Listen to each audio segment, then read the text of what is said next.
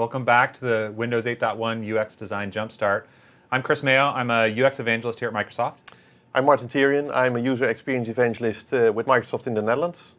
And in this session, we're going to be talking about the Windows Store, both from the perspective of how do I get into the Windows Store, how do I publish my app, what are the things that I need to think about, as well as designing for monetization. Um, so, how am I going to take the great, compelling scenarios uh, that I've created for my app and make sure that you know they get to every single user across the planet that, that loves the app and rates the app really highly and tells their friends and then you know I as an app publisher become super super successful. So it's kind of interesting if you kind of follow what we've been doing over the course of this uh, jumpstart. We've been you know kind of started off talking about coming up with an idea for the app and then how to design you know the navigation and, and layout of your app you know using you know built-in controls, um, and then started talking about kind of some of more of these external kind of experiences, like with contracts being able to you know stitch apps together into more complex scenarios or more advanced scenarios, or maybe participating in extensions for Windows and so on, and then you know thinking about searching and sharing and integrating in, into the, the start screen. And now we're really thinking about like out that we've we've got all that design, we've gone through and um, decided what our app's going to be and what it's going to do. Now we're thinking about how we're going to get it published to the store and how we're going to present all those great features and all those great scenarios in the store so people are compelled to, to download the app and, and start using the app. So let's talk about that now. And what we're going to do is we're going to take a step back just for a second and talk about Windows 8 and some of the goals around Windows 8 and then compare that to some of the changes and updates we've made in Windows 8.1. So Windows 8 was all about providing an experience that worked across a broad spectrum of scenarios, whether it was work or play, and across a, a really wide range of devices, whether it's you know an 8-inch slate or uh, you know a, 10-inch convertible or you know a 15-inch uh, laptop or even like you know a huge 30-inch all in one and providing like a, a, modern app experience that was designed for you know mobile and, and touch and cloud connected services. And we really saw that in the start screen and windows store apps. And that resulted in you know hundreds of millions of app downloads across all windows users across the, the uh, uh, across the world. And we've seen a lot of you know updated and new apps like facebook and twitter and flipboard over the past few weeks and we deliver those experiences across more than 200 countries across the world. And if you think about, you know, me as an app publisher, someone that's selling software or selling a product, being able to leverage the scale of Microsoft to take that experience that I've created and be able to bring that to you know users across 200 different countries. I mean, literally just all across the world is is really really super powerful and something that's you know unique to the, the Windows ecosystem and, and unique to the Windows Store. And when we came out with Windows 8 and, and at the first uh, build conference, we really talked about you know, what we wanted to accomplish um, in partnership with app publishers. And there are three tenets around that. And the first was partnership. So making it possible for you, know, you to be a publisher, to design and develop and, and create a, a really, really strong app, and for you to put you know, trust in Microsoft to be the retailer of that application. To, so for that app to be sold in, in the Microsoft Store and and making that you know an experience that's a, a, great experience for you as a partner and a publisher, both from the perspective of that process um, as well as the end result of that process of, of how your app is, is represented in the store and, and sold in the store. And we also talked about flexibility. So how can we provide an ecosystem for apps such that you as the publisher have the flexi- flexibility easy for me to say, to decide um, exactly how you're going to sell that app and how you're going to monetize that app. Right? And that's built into not only the way that the store works, but how the APIs around the store work, and we'll see that in a few minutes. And then also providing transparency and just making it super, super crystal, uh, crystal clear to you as a publisher how do I get my app into the store? What's the process? Is there transparency into that process? So I can always know where my app is, and if it for some reason failed certification, I can have you know an easy view into that process and, and how I need to address that, so I can you know certify for the, the second try if I didn't make it on the first try. And over the course of Windows 8, that year, we did a lot of listening and we did a lot of thinking about how we could improve those experiences. And you're going to see those reflected in Windows 8.1 when we start talking about some of the updates to the store and updates to the process that you use as a publisher to get that app that you spent you know a lot of effort um, and you know blood, sweat, and tears create designing and creating, uh, making sure that you have a great experience as a publisher, um, getting it into the store and then after it's in the store. So let's talk about that now and just talk about Windows 8.1 just from a very, very high level and some of the goals that we had about improving the store experience, not only for, for end users, uh, helping them find apps um, that they love and, and use uh, every day and, and, rate really highly, but also for you as a publisher, making sure that you have a great experience with the store when you're ready to get your app submitted and, and published out to the world. So in Windows 8.1, we made a lot of advancements and improvements to the Windows Store to make it as simple as possible for millions of customers from, from around the world to discover, try, and buy your app from practically anywhere in the world. And, and our goal was really uh, on both sides of that equation. From the user's perspective, make it easy for them to find that app they're going to fall in love with and use every day. And then make it easy for you as the publisher of that app to, to get your app in the store and make it discoverable um, and easy to try for users and easy for them to buy. So you as a publisher are, are, successful, you know, working in partnership with, with Microsoft as the retailer of your app in the Windows Store. So let's talk about some of those updates in, in more detail. So Windows 8.1, just all up, is a free update for Windows 8 users. Um, you're going to go into the, the store um, and you'll see an update uh, in the Windows Store that talks about the new Windows 8.1 update that you can install right there from the store. All your Windows 8 apps will continue to work. You'll also have access to the new Windows 8.1 apps and a lot of the features that we've talked about recently, like the new windowing features and the new tile support for like the larger tiles, um, as well as you know this new search features and, and all the things we've talked about over the past couple of days.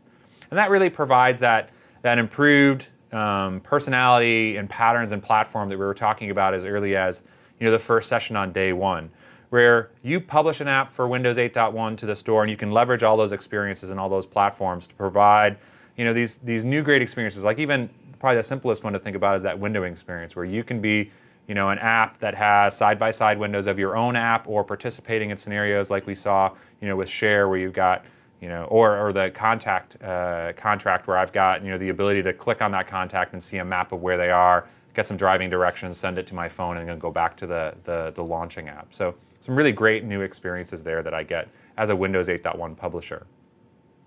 But there's also a new Windows Store experience. So it's driven really behind the, the idea that we wanted to make it as easy as possible for users to discover the apps that they're going to be interested in, try them out, and buy them, and build as many um, of those uh, experiences as possible into the platform so it's really easy for you to pick the right monetization uh, strategy for your app that kind of matches your scenarios and matches what your app is great at. And then use the power of Bing and big data as well as machine learning to really build what Bing knows about applications and what Bing knows as a search engine into the store to make it easy for us to surface the app that the user is um, interested in or, or looking for um, without a lot of effort. So this is just a screenshot of, of, what you will see as a Windows 8 user. Next time you go into the store, you'll see this update uh, to Windows 8.1 for free. And if you tap on that, it'll walk you through the process of installing the update directly through the Windows Store. And in a very easy way, it just tells you, we'll install it now and just go on with your work or what you were right. doing, and we'll get back to you when it's needed. So right. it's a very nice process. Yeah, absolutely. Just like any other Windows app store, it installs in the background and you get notified when it's ready. And it's yeah, it's a great experience. And then when you install that, you have access to all the new Windows 8.1 uh, apps and all the, these new features. If someone's still on Windows 8 and they're browsing through the store and they see you know, a, a new Windows 8.1 app, you'll see this uh, little message here, update to Windows 8.1 to get this app. Um, so they'll be prompted. So if you publish a Windows 8.1 app and there's lots of buzz around it and lots of great ratings and stuff like that, um, people will be prompted to install the update um, so they'll be able to get access to your application and all those new features. So let's just look at the Windows Store in Windows 8.1. And I know we've seen it a couple of times over the uh, a few of the sessions over the past couple of days, but I kind of want to just drill down into um, some of these details so you can get an idea of what the user experience is going to be and how, how they're going to um, experience the store and how they're going to be discovering apps day in day out as they're looking for you know new games to play or new productivity apps or new music apps, news apps, and so on.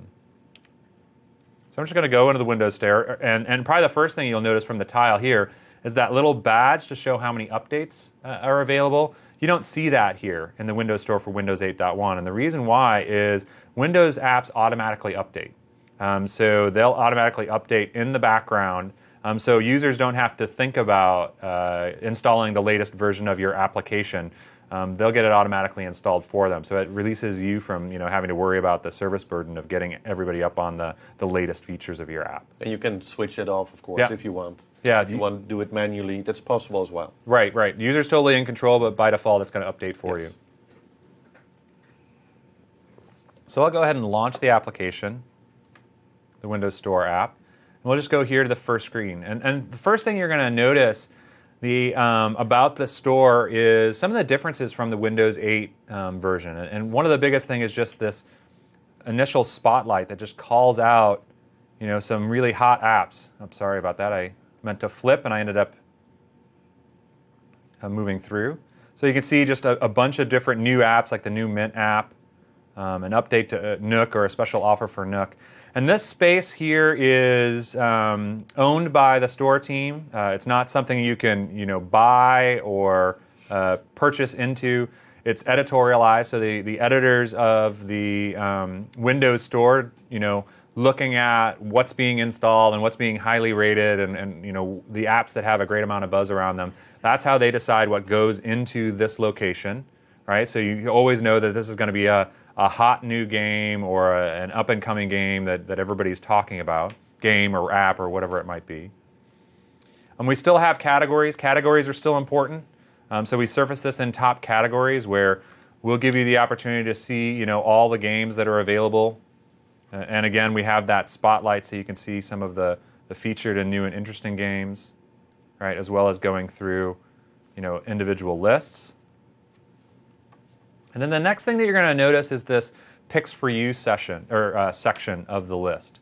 And this is actually powered by Bing data. So we're going through and looking at other applications that you installed or you've used um, and suggesting new apps to you. So me as a publisher, I can see how you know Bing's going to be using its uh, machine learning and, and big data uh, together with what I'm publishing about metadata of my app and how many installs it's getting and ratings and so on to help me find the apps that I'm interested in. So, for example, here for Tiny Death Star, this is popular with people who have uh, Halo uh, Spartan Assault, which is an app that I play and like quite a bit. You can see here I can click on this link to say not interested, or I can turn this feature off. Again, users in control.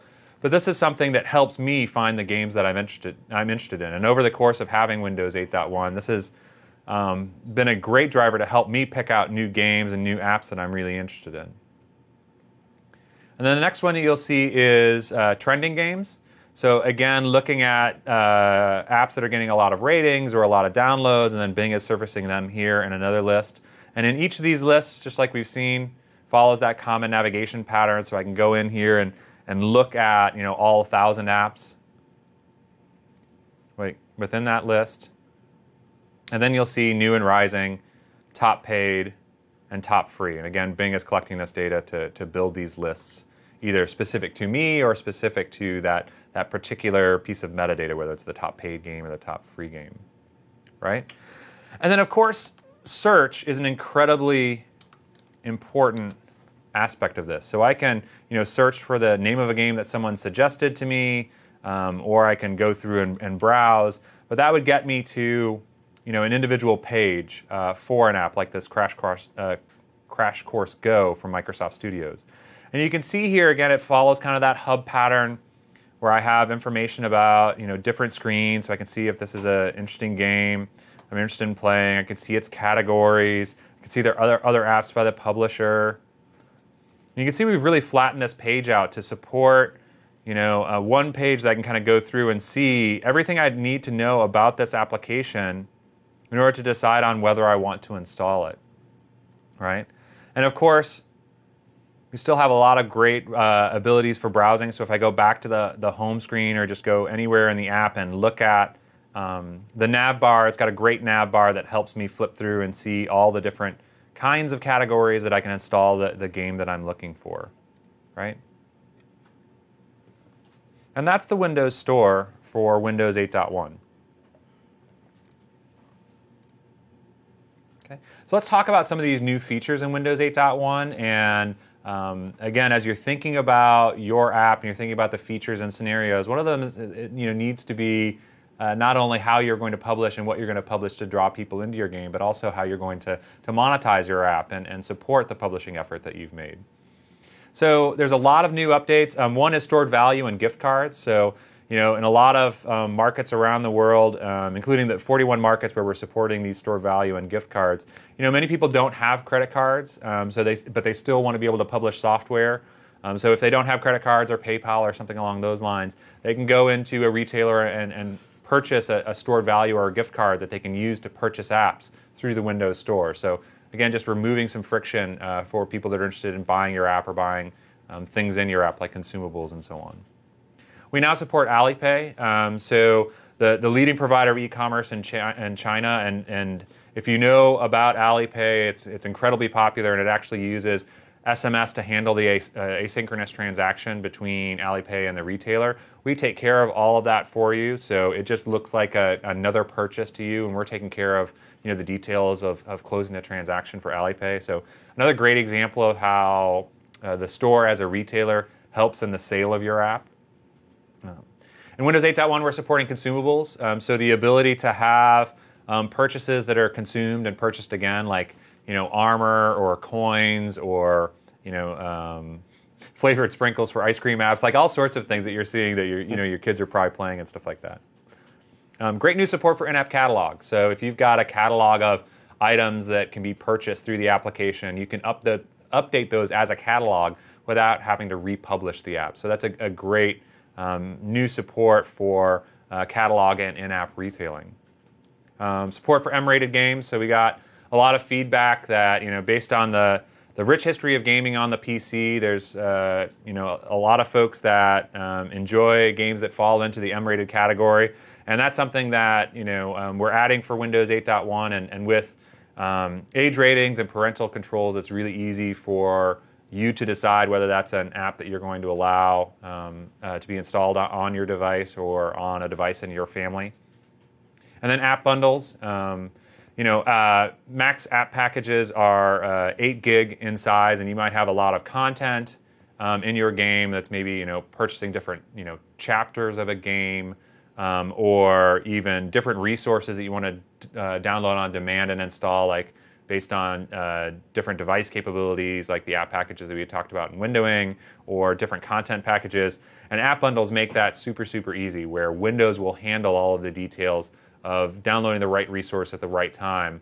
Um, in some cases, just by configuration, right? So being able to say that this is the right package for French-speaking uh, users of my apps, and having that installed if they've got uh, that French language installed on their PC.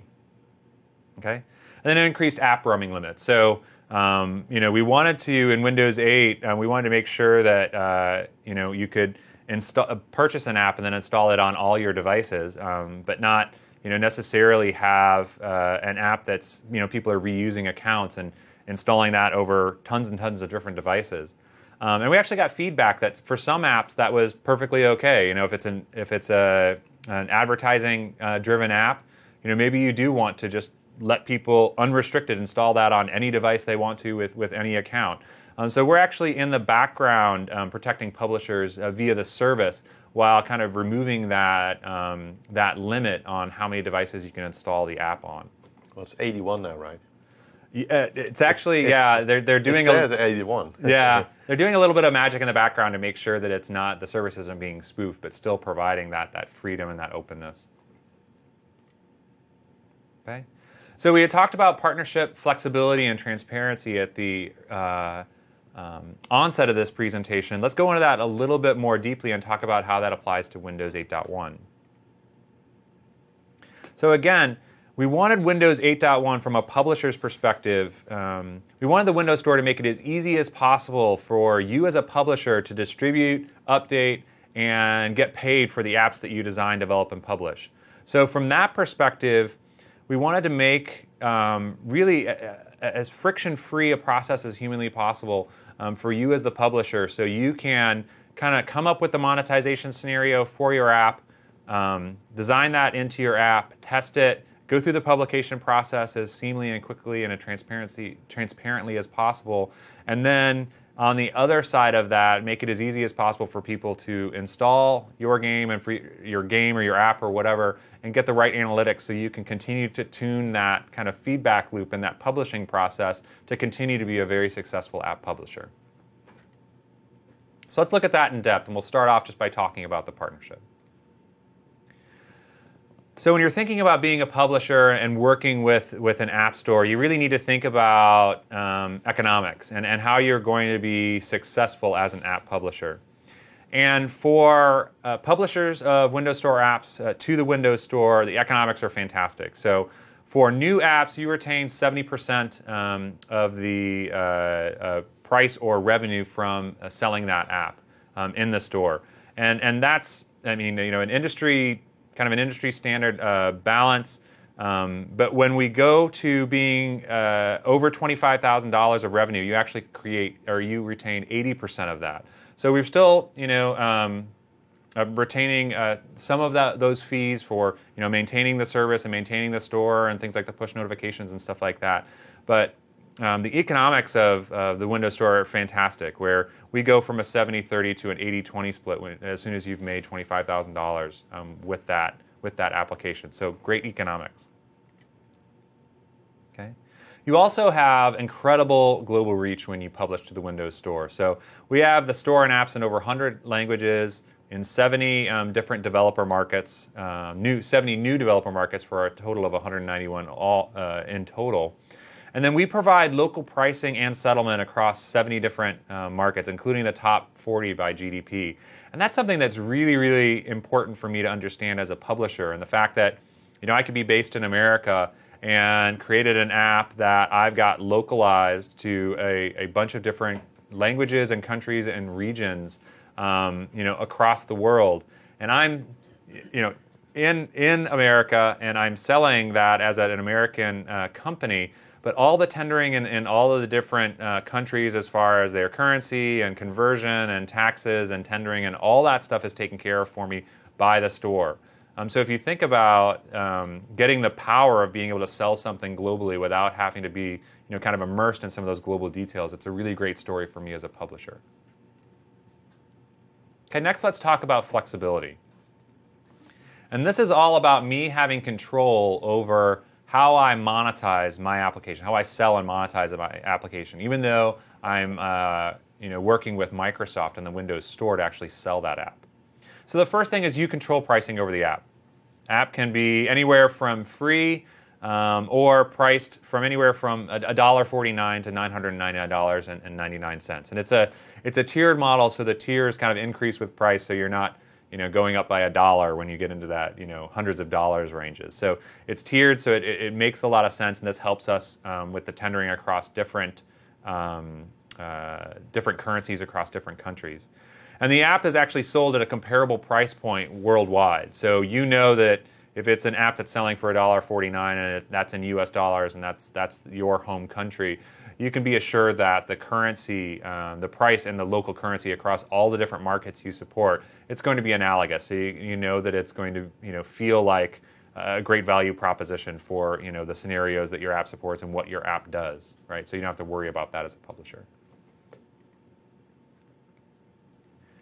And then from a business model perspective, you have a lot of flexibility as well. So you have, first of all, a choice of commerce engines. You can use the Windows Store and uh, the Windows platform um, with those industry leading economics that I had mentioned, that 70 30 split or over $25,000, that 80 20 split.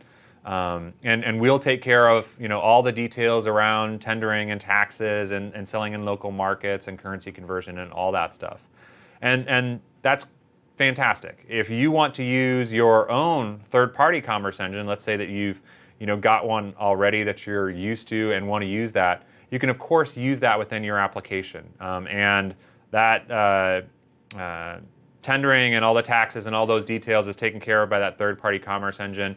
And then from a uh, economics or from a revenue standpoint, Microsoft's not involved. You can still publish the app to the store and use that third-party engine and you know, we're not um, retaining any of the revenue because you know, you're obviously using some other engine to manage all that for you. Beyond that, you have a choice of uh, business models um, from the Windows 8 um, uh, days. Uh, you might be familiar with like paying for download, time limited trials, feature limited trials, or in app purchases. We've got a few more in Windows 8.1, like the ability to do uh, consumables as well as a lot of updates to the advertising engine and the way that we support advertising um, within uh, Windows Store applications. And when I'm thinking about my app and I'm thinking about scenarios, I really do need to think about my business model and how that maps to the scenarios that I'm going to be supporting. And this is just a little bit of information that we shared, um, you know, at the last build about industry trends, uh, trends on uh, monetization.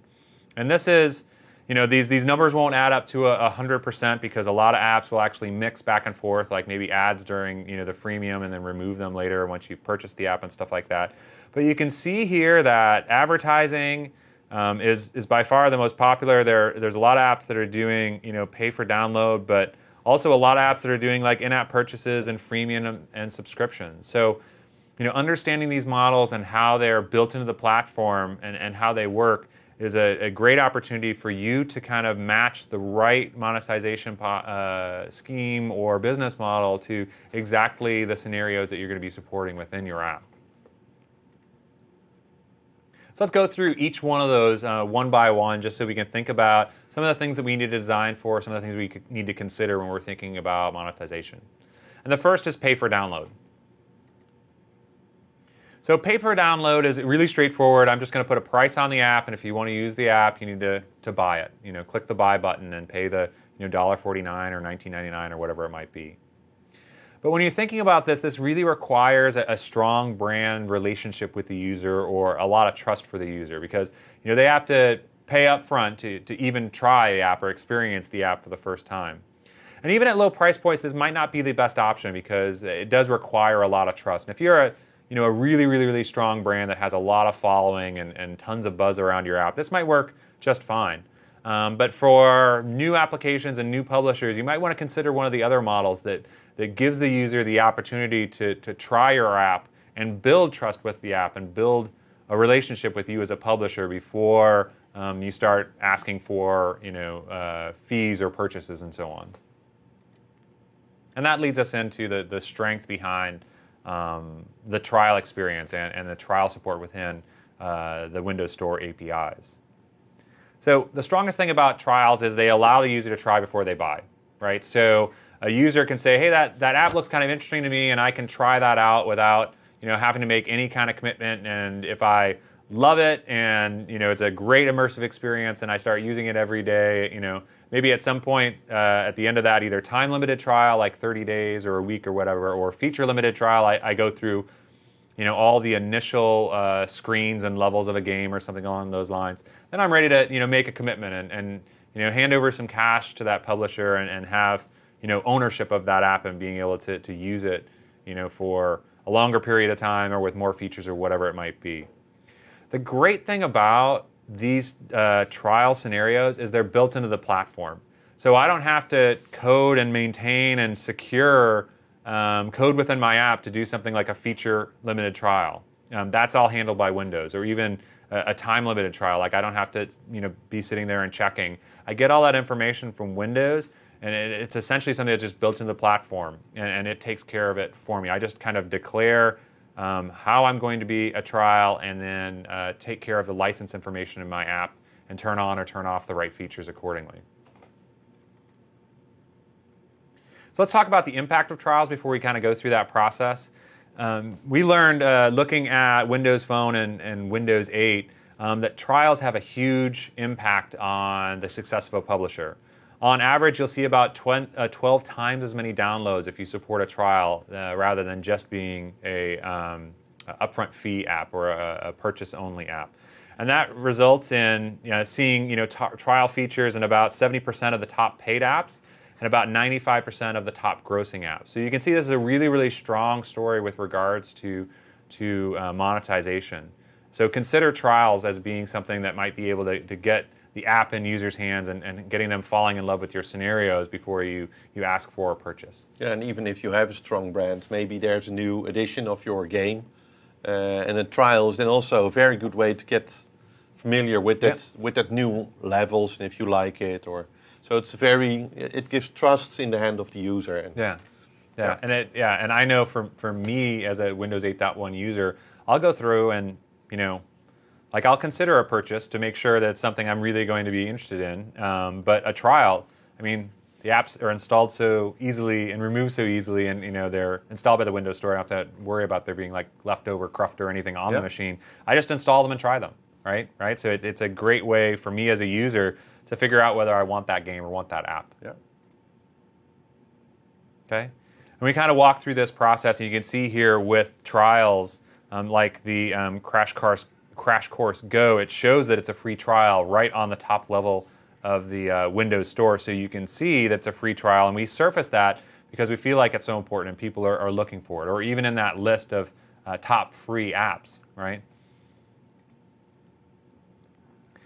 So this, like anything else, needs to be a scenario that I design for. I really need to design for a great trial experience. So if you know, one of my scenarios is to provide a, a, free trial that hopefully leads to some sort of a purchase, either you know after a certain amount of time or um, after they use a certain number of features. I have to design for that because if you know part of making a great app is making sure that those scenarios are easy and compelling to complete. So you want them to be very very clear and very very direct and kind of lead the user through that process so they get to the result that you that they want, which is them having an app that they've purchased that they love and you being a successful publisher. So you need to think about, you know, how will the features be limited? Will it be by time? Will it be by, you know, um, uh, available features? Will it be, you know, features that are turned off for a while and then, then, or turned on for a while then turned off? And then design for trial ex, uh, expiration. What happens at the end of that week or the end of that month, right? Or after they've used that particular, you know, widget within your app for 30 times or whatever it's, you've designed for.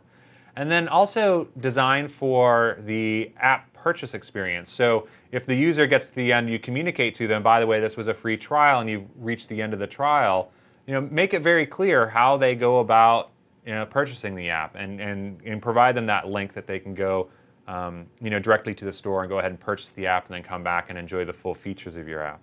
And the platform supports that through events and APIs and even testing tools. Um, so you can test all the different permutations for your app before you publish. And we're going to look at that here in a second. So the first thing that you'll you'll notice um, when you're looking at doing trials within your application is that time-based trials are just built in the platform. So there's no code involved. It's just a configuration. You go to publish the app, and that's one of the settings that you can make in the store is to say, you know, here's the price of my app, but I'm also going to support uh, a free trial, like seven days. And then the management of that and the timing of that is all managed through Windows. You're going to, you know, after seven days, the user clicks on the app, they're prompted by the Windows Store to go to the Windows Store and purchase the app, and there's, there's nothing that you need to do in the application.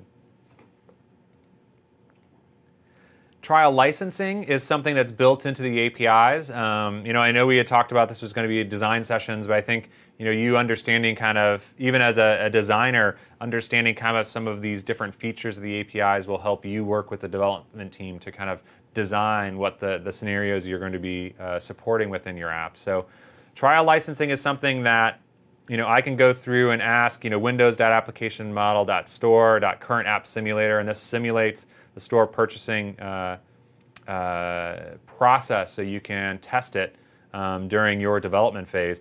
You can ask that current app um, dot license information and get license information and then register for an event. So anytime that license information changes, you'd be able to do the right thing in your app. Like maybe the trial has expired or maybe they went ahead and purchased your app and, and do the right thing.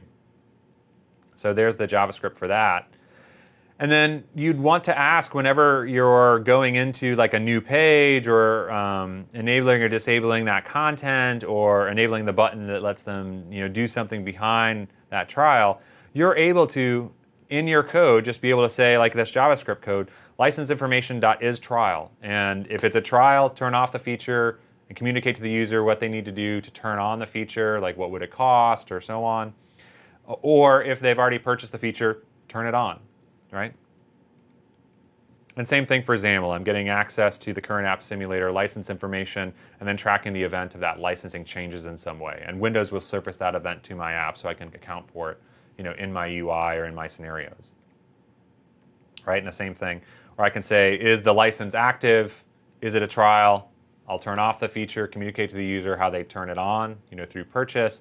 Or if it's already been purchased, then I just enable them to use the feature right? And the great thing about it is that's all built into the platform, so I don't have to worry about writing the code, securing the code, maintaining the code around those purchasing experiences. The store just provides it to me. Okay? So let's talk about in-app purchases.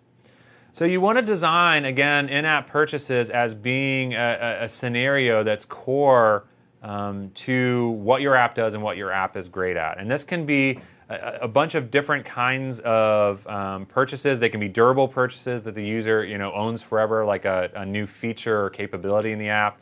It could be expiring um, durable purchases, so you purchase it and it works for you know amount of time, and then you purchase it again if you want to continue to use it.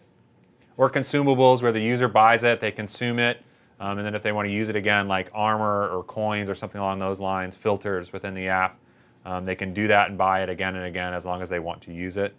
Or, like we had mentioned, being able to manage a catalog of items within your app and be able to publish that without having to republish your application. So, in app purchases, again, it's the same flow where it's built into the application. So, I can ask, you know, via license information, I can ask the product li- licenses and look up the particular feature that I'm looking for, like you'll see in this uh, JavaScript code. And then I can ask, um, do they own it or not? And if they they don't own it, I can go ahead and say, okay, request the purchase asynchronously, and that will pop up the UI, you know, for um, either the, the test UI if I'm testing this locally or, or during runtime in an actual production uh, environment, it'll actually pop up the Windows UI, Windows Store UI to prompt them to purchase. Okay, and the same thing for XAML. Um, do they have a license for this particular feature? If they don't, prompt them to purchase. If they complete the purchase, then I'll go along uh, with the scenario by turning on that feature. Consumables uh, follow that same kind of process, except for they can be consumed over and over and over again. So you initiate a purchase through the UI. Um, the app actually builds and maintains the purchase history based on the Windows Store APIs completing that process. You grant user uh, the, the user the, the access to that consumable feature right? Reflected in the UI, like, hey, you've got 100 new coins, or you've got this new, you know, feature or spell or weapon or whatever it might be. And then you report fulfillment back to the Windows Store API, so they know that you've uh, that purchase was um, successfully done. Uh, so they will know the next time the user requests a, cert, uh, a, purchase. Do they still have coins, or are they out of coins? How many do I am going to let them uh, purchase the next time? Okay. So again, I'm going to use that current app uh, simulator, which um, during uh, development gives me the ability to simulate store experiences. And I can say request uh, product purchase async, and I'll, I'll, give it a product name, right? And if that was successful, I'll track the transaction ID for that purchase, right? If it wasn't successful, then I ask, I have to ask why it wasn't fulfilled. Like maybe they already had um, that uh, filter or still had coins or something along those lines. Um, and then I can track that within my application and, and go through a scenario where um, uh, the status wasn't fulfilled. Like maybe they decided to cancel the process or something along those lines. And same thing with, with uh, XAML. I can just ask product purchase status. I can say uh, await current app simulator.request product purchase async and give it a name of that particular consumable and then check the purchase results to say, did it succeed? Awesome. I'm going to you know, add that to the UI and, and track that purchase via the, the, the, purchase or the transaction ID. If it's not fulfilled, then I'm going to check to why that, um, that particular app purchase or consumable purchase wasn't fulfilled. Um, was it a problem with the uh, process or do they already own it or, or what it might be? Okay. And then wrapping up that process, I need to tell the Windows Store that the purchase was successful. Um, again, so I can mark it in the, the catalog. I can mark it that you know it was this 100 purchase of coins is different from the last 100 purchase of coins. That wasn't like a failed purchase and a retry. Okay, same thing with XAML. And then during the development process, it's really easy for me to simulate different licensing scenarios and, and, and, purchasing options so I can go through and test all of these and make sure I'm getting exactly the right experience for the scenario that I wanted to have about uh, monetization. And I can do that just by providing the app different um, uh, licensing files. Like you can see here, I can call the current app simulator.reload simulator async and pass it one of those files and define different purchases, whether they have the feature, they've purchased the feature or haven't purchased the feature, and then you know test the end-to-end scenario within my app. So another option for monetizing my app is advertising. Now, advertising is something that is incredibly prevalent for app publishers. Um, it's a great monetization uh, opportunity. I can have that free application that kind of a a friction-free, uh, you know, purchase for my users, where they just have a, a, free or a trial app, and I can still monetize it via um, advertising, and maybe turn off that advertising uh, once they purchase the app, or just leave it a free app for, for all time, and it'll just be completely uh, monetized through advertising. Again, you have the freedom and flexibility to determine whether you want to use the Microsoft advertising platform and we'll talk about that here in a few minutes. Or if you want to use your own advertising engine, you know, if you're a um, a large publisher and you have your own advertising engine, and you can use that, and then you retain all the revenues, and and and of course you you maintain and, and manage and secure that advertising engine.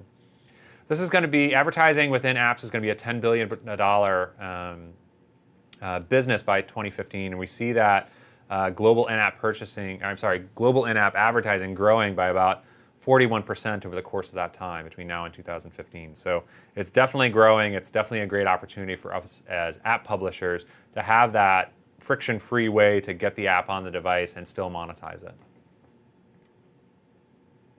So if I wanted to use the Microsoft advertising engine, there's um, a lot of great reasons to do so. Uh, one, just from a monetization standpoint, they're working with the top 500 advertisers. You get paid in your local currency just like you do um, when you're selling your app you know, across the world. Windows advertising takes care of that uh, tendering and that currency conversion and so on, uh, just like the Windows Store does. Um, and then you're leveraging essentially Microsoft Advertising's uh, global sales force as far as um, working with uh, advertisers to get those um, advertising units into inventory and then uh, sent through your app through the integrated ads. Um, it's engaging for users because the apps are in line, um, into the, uh, in line with the experiences we'll see here in one of the demos. So they're very rich and high quality experiences that you'd expect from Microsoft. And they're safe and secure because they're actually managed within the, the app itself and, and pick up all of the easy um, protection and sandboxing that you would get for any Windows Store app. And they're easy to implement because the, in, the SDK is integrated right into Visual Studio 2013 and supports both XAML as well as HTML apps. So Windows 8, uh, or sorry, uh, Microsoft advertising for Windows 8.1. There's ad sizes that match up really, really well um, to uh, screen sizes um, for Windows 8.1 apps. So regardless of whether your app's running full screen or you know in a windowing mode, you can find an app size that works for you. Um, the cost uh, or the revenue for the um, uh, advertisements is in uh, cost per 1,000 uh, impressions or CPM. That's just the pricing model that the advertising user world, uh, the advertising world uses. Um, and when the impression is actually counted, when 60% of the ad is shown, not clicked on, but just shown, and that's when you would get uh, credit for um, that particular um, impression. Right. One thing you want to th- keep in mind, and we'll talk about this when we talk more about the store itself, is um, apps targeting uh, uh, advertising are only available for age groups of 12 and up. Um, so it requires a connected app, and a networked app is uh, something that requires a um, target age of, of 12 years and up. So it's something to think about. And the other thing to think about is obviously um, revenue sharing. So I retain 70% of the um, uh, the uh, revenue um, that's generated from the advertisements, and Microsoft retains 30%. That that's the, the cost that they use to maintain the service and maintain the, the sales force and the inventory and so on. Okay, so how do I go about um, integrating uh, ads into my app uh, with Microsoft Advertising SDK? Well, the first thing that I do is just go into 2013 and uh, the the SDK is automatically installed, um, so I just you know turn it on. And then I start designing the ad integration into my app and use some of the sample ad IDs to, to make sure everything's working. Then I go into Pub Center, which is the, the place that I go to activate all my live ads, and I define all the ads that I'm going to need um, for my application, like what category they're in, what style they are, and so on. And then I get my app ID and then my ad unit ID that I actually place in my code. So when I publish to the store, those ads are going to be served up within my application. So probably the best way to do this is just to go ahead and, oh, let's talk about ad sizes first. So here's the new ad sizes um, within Windows 8.1. And you can see here that they fit really, really well into a lot of the, the layout choices that you're going to have, whether you know, you've got a detailed page or a hub page, whether you've you know, got a consistent grid of content or you're varying it like in a hub control and so on. So here you can see the different sizes that you can account for when you're deciding how to integrate that advertising into your app. And now let's look at this process. So the first thing I'm going to do is just go to an app that the um, Microsoft advertising team put together to show you the ad experience. So what it's going to look like in your application. So probably it, the, the, easiest one to think about is these are just different ad styles and, and, and here's a, a 160 by 600 anchor ad that I can click on here and it turns into a, a full screen ad. And, and notice that I'm still in the app, right? So if I go back, I'm still in the application. I'm, I do not leave it. I still got the impression there when I see the ad. All right, there's others like um, full screen video. So let's click on this. So here you can see it's a 250 by 250 pixel. It's marked as an advertisement. When I click on it, that's going to launch this uh, full screen video experience here about the you know Ford Mustang, right? And I can view this and either you know go and learn more, or if I decide to just stay in the app, I can go ahead and click the back button, and I'm still in the app. So it's a great combination of being immersive and integrated, like with the layout of the app, um, uh, without ever having you know taking me away from the app unless I want to act on that advertisement. And again, just showing the impression is what gets you credit as a publisher.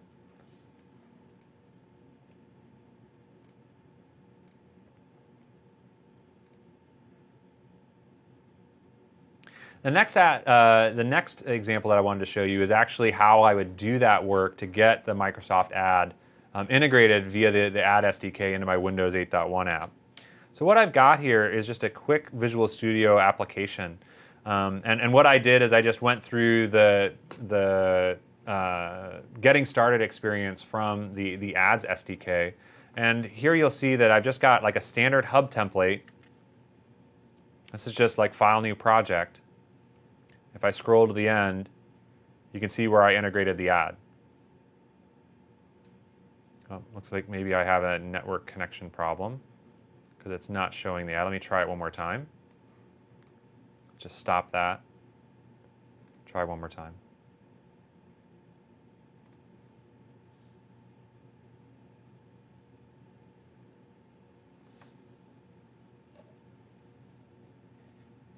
Hmm. I'm sorry, maybe I've lost my connection here, but we'll see here in a second that I've reserved this area for the ad within my app. Let's talk about how I did that. So I'm just in Visual Studio here, and the first thing that I need to do is just enable the SDK itself. So I go to Extensions and Updates. And then here you can see that I have the SDK installed for uh, JavaScript as well as for XAML. And these are installed with Visual Studio 2013, so I don't need to do anything to get the uh, Windows 8 versions of the SDK. Right? And then I go ahead and just add a reference um, to the SDK that you can see that I've done here. Right?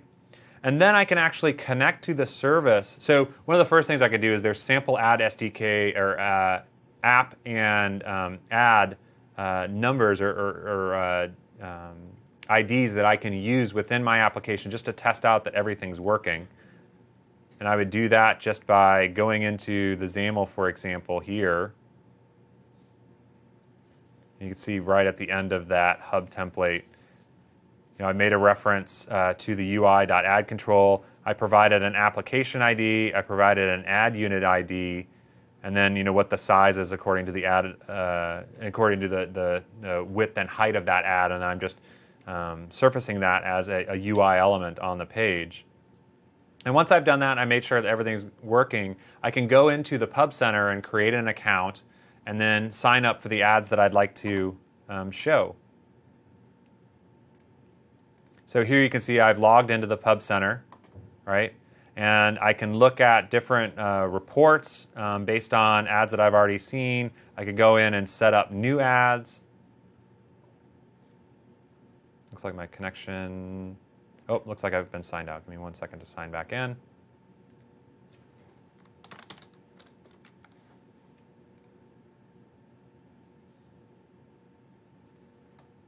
I can go in and define ads, like here's my sample.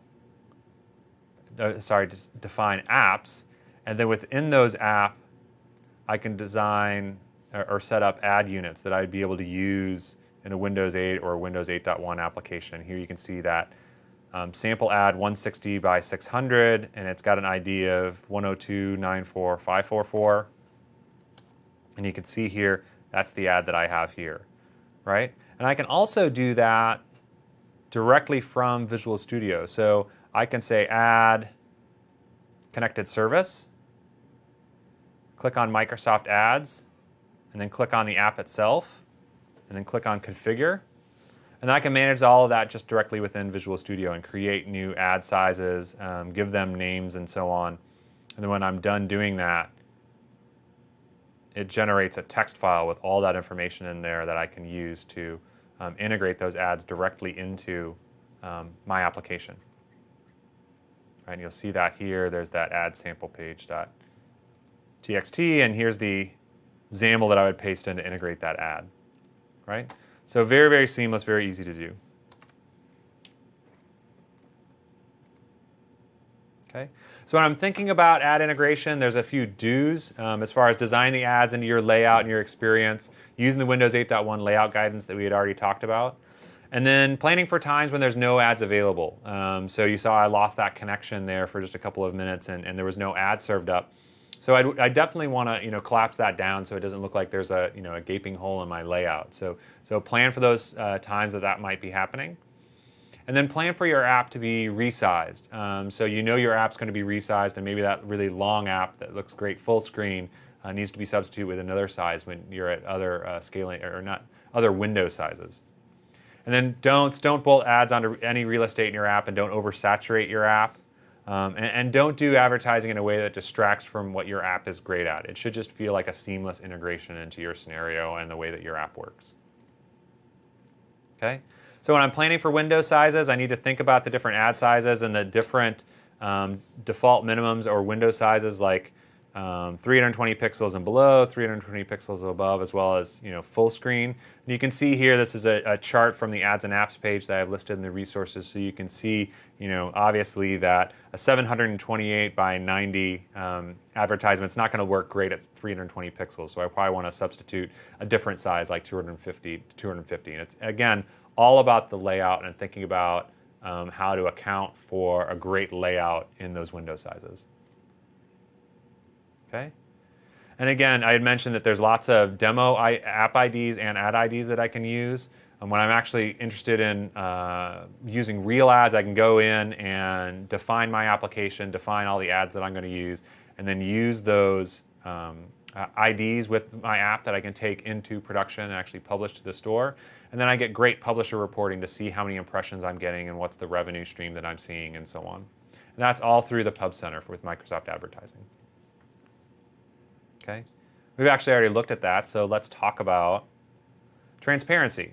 And transparency is all about getting comfortable with and, and, and being transparent about the process of publishing. So, me as a publisher, I know exactly what's going to happen during the entire process. Whether it's during design, what do I need to provide in order to have a great store listing? during submission, what's the process going to be like, and, and what work can I do up front to make sure that I pass the certification process on the first try. And then after publication, how do I analyze? How do I get the right information to help me tune my application to be even more successful in the future? Let's talk about each of those, and, and, and starting, of course, with the design. So the Windows 8.1 certification requirements are built around a few very simple uh, principles, and they're designed to give users a really quality experience as far as being a high quality app that doesn't crash and has an age rating and has a privacy statement and stuff like that. So giving users a great um, uh, experience, but also for you as the publisher, making sure you have a quality experience. So you know exactly what the requirements are and what's expected of you.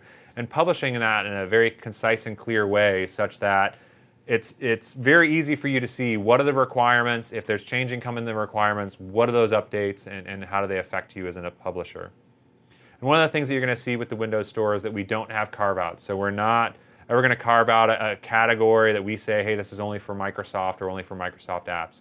We believe that we can publish great first party apps. Uh, we want to make it possible for everyone to publish great apps and we'd rather compete on a, a, scenario or app basis rather than, than doing a carve out and excluding competition. Okay. In order to publish, I'll need a Windows Store developer account. Uh, for individuals, that's $49. Um, for uh, business accounts, that's $99. Registration just takes a little bit, uh, you know, just a few minutes. Publication can start right away. Some of the instruments for payment and stuff like that can take a little bit longer because of, you know, legal requirements across all the different countries that we work with.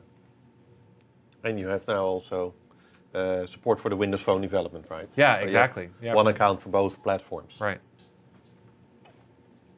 So when I'm preparing for publication, there's a lot of things that I need to think about. The first thing is just go through the requirements and make sure that you understand them and understand, you know, what's required of you as a publisher. The next thing you need to do is reserve an app name and make sure that it's unique. Just like having a unique URL on the web, you want to make sure that you get that, you reserve that app name according to your account before you start any work because no one wants to get to the point where they get to the part where they're ready to publish and they say my app name is you know foo and there's already a foo app out there and you can't use that name.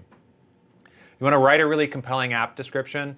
Um, you want to provide really compelling screenshots that show off you know all those uh, great scenarios that you've designed and built into your app. And if you think about the great at statement um, that should really be that and the scenarios um, that you have should be a really you know a guiding light on exactly what you want to put into that Windows Store um, entry so people will be drawn into the app and want to try it.